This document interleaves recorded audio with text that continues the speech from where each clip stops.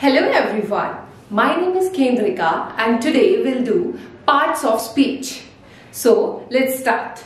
First of all, in our last video we have completed the four parts of speech that are verb, noun, pronoun and adjective.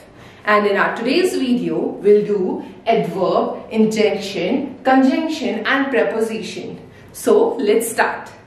First, what's an adverb? Adverb describes a verb, an adjective and an adverb. The adverb gives us the answer of these questions. How, often, where or when.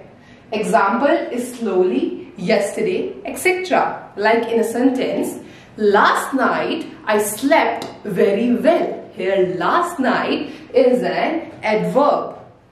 Next we have interjection.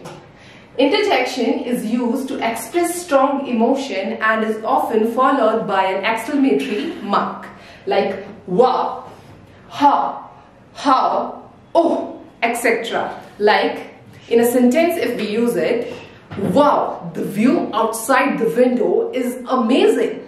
Here, wow is an interjection. Next, we have conjunction. Conjunction is used to connect words phrases, clause in a sentence. Example are and, or, but, etc. For example, I like to go for a walk with and I also like to listen music. Here and connected both the sentences. Next, we have preposition.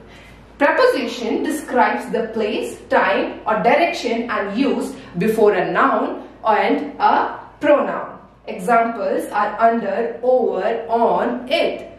Like the dog jumped over the box. Here over is a preposition.